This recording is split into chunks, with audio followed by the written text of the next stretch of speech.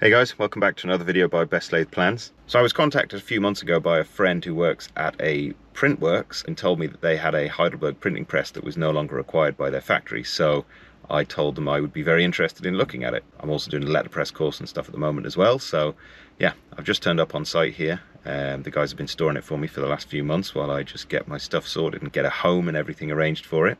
So I've just turned up here. So we're going to go have a look at the Heidelberg. It's a 10 by 15 platen and yeah we're going to go have a look and see what it's like and what bits I need to return it to full printing capability because the guys here have been using it for die cutting. So I need to get new rollers and stuff for it I think. So anyway we'll uh, we'll head inside we'll have a look and uh, hopefully yeah it's in good condition. Hey guys welcome back. So I've uh, just come into the print shop here and uh, yeah here's the Heidelberg. So I'll give you a quick overview of the Heidelberg and I'll show you the rest of the printers here as well some so they have some serious gear here. Now this is just one of the halls. They do all sorts of work but yeah massive massive. So this is the Heidelberg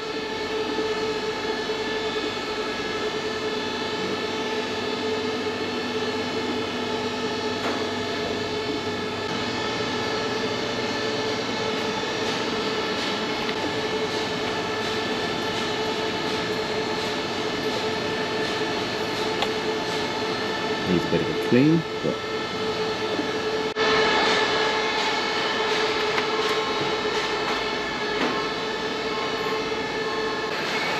So yeah, this is the Heidelberg that I've purchased. Um, the guys here used it for die cutting, so I need to buy a bunch of rollers for it because it's missing some of the inking rollers that ink up the chase. Um, so yeah, I've, I've sorted out a contact for them. So I'm going to return it back to full printing capability and yeah, hopefully get some uh, some test prints knocked out on it before the end of the year. So that'll be very cool.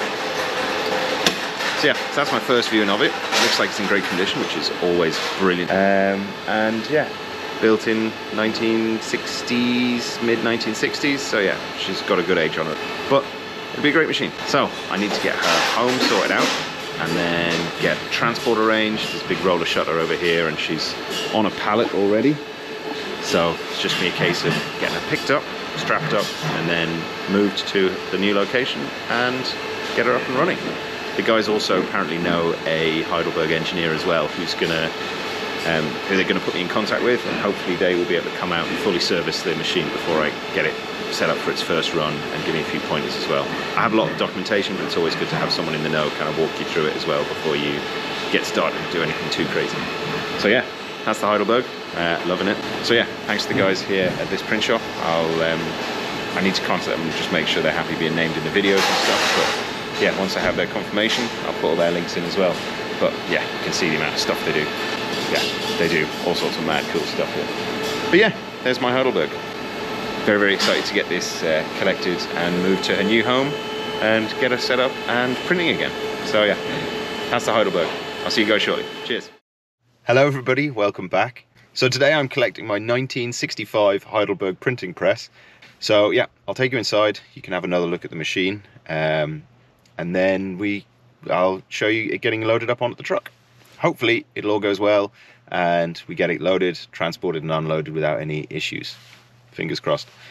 So here we are in the printers again. This is my Heidelberg 10 by 15.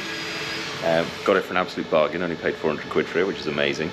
Uh, but I need to buy a load of other bits for it, so that's another story. That'll be a new video. Um, to give you an idea of cost comparison though, this massive thing at the back is their printer, and they spent a million quid on that, so this was cheap. But it uh, needs a bit of a clean, but yeah, needs a bit of a clean, but otherwise pretty cool. So yeah, I'll uh, explain that later in the video.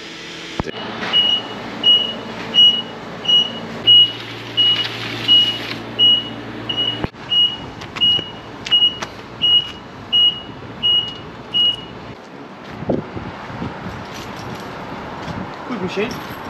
Sorry to see.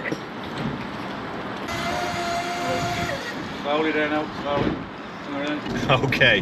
Um, all right. So I actually had to cut the video because we were having a few issues loading the pallet into the into the van because the van had a tail lift and the forklift wouldn't reach over the tail lift. Uh, it didn't have enough reach and we couldn't get the tail lift out the way and the guy with the van didn't want us driving on the tail lift because we'd crush it, which is reasonable. Um, so yeah, there was a bit of drama getting it into the truck, and then once it was in, obviously we had to get it all strapped down and stuff. So yeah. Anyway, the Heidelberg is in the van. It's all strapped down, and it's now on its way to my storage unit. So yeah, that's the current state of play. So I'll hopefully have some video clips if it's not pitch black by the time we arrive. I'll hopefully have some clips of it getting unloaded um, and then placed in into the storage unit, and then I'll do a little uh, little round trip of it as well and show you show you the unit and stuff as well once once it's in place. So yeah, whew, what a lot of work, what a lot of effort, um, but it's gonna be fairly close soon. It's just a matter of getting it out the van now, which is to be the challenge. So I'll uh, figure that out when uh, when we arrive. So yeah, um, wish me luck. It'll probably be in about five seconds for you guys, but it's going to be about an hour's drive plus all of the effort to unload it and everything. So yeah, I'll see you guys in the next scene. So I found a guy to help fork it off the truck and he's driving down the road. He works at a different unit, so he's gonna help me lift it off the truck. So yeah, thanks buddy. Legend. Now, where do we go with the white box is sticking um, Yeah, ideal mate, that's perfect. You're a legend, thank you very much. Okay, that was an absolute nightmare. I had to call in favors from like the guys a couple of doors up there. Um, the guy with the truck did an absolute sterling job, and I think I uh, burned through a few credits with him as well. So if you're watching, buddy, huge apologies, and uh, yeah, I owe you a beer. Um, but here it is. So finally, there's the Heidelberg in the storage, and uh, yeah, it's all there. So, what a flipping day. Jesus, that was hard work. Uh, note to self, next time, prep the truck properly, prep the uh, forklift, or just get my own forklift. But it's in. It's in, and it looks great. It's a little wet, but yeah, hopefully it won't rust. But yeah, she's in.